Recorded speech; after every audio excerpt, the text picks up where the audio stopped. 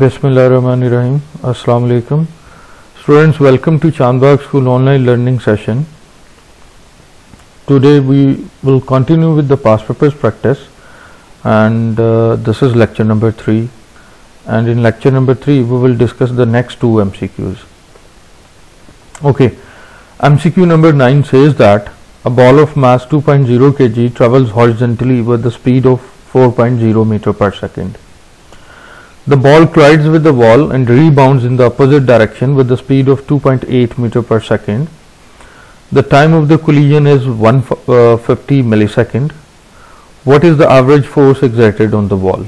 Okay, to calculate the average force exerted on the wall, we need to use the formula F is equal to mv minus mu over t. Students, we need to be very careful in this MCQ. There is uh, technicality involved in this MCQ. Uh, the technicality is that uh, the ball is uh, when the ball is uh, colliding with the wall and then rebounding, the direction of the velocity is in opposite direction. So the equation to calculate the average force exerted on the wall will become F is equal to mv plus mu over t.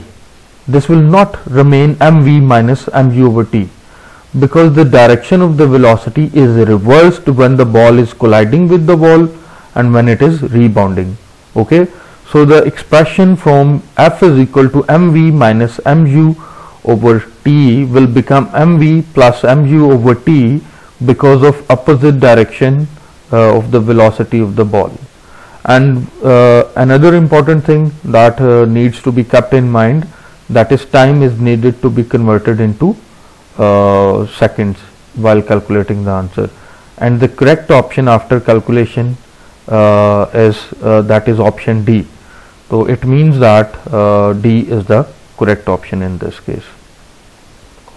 Okay coming to MCQ number 10 it states that an ice hockey puck of mass 150 gram moves with an initial speed of 2.0 meter per second along the surface of an ice rink. The puck slides a distance of 30 meter in a straight line before stopping.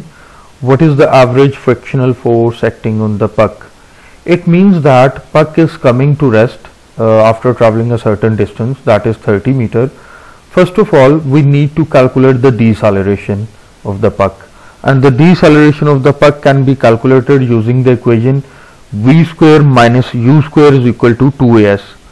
In after applying this equation we will get acceleration uh, in negative sign. It means that the body is the puck is retarding. And after calculating the retardation to calculate the average frictional force acting on the puck we will apply the equation F is equal to ma and mass is given that is 150 gram that uh, needs to be converted into kg and mass in kg will be multiplied with the deceleration calculated before. And the correct option that will come after calculation that is A it means that answer is 0.010 Newton.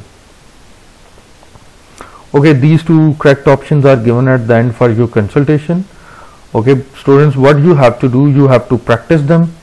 And uh, uh, so that you can get better idea of these two MCQs okay the next MCQs will be in uh, next upcoming lectures.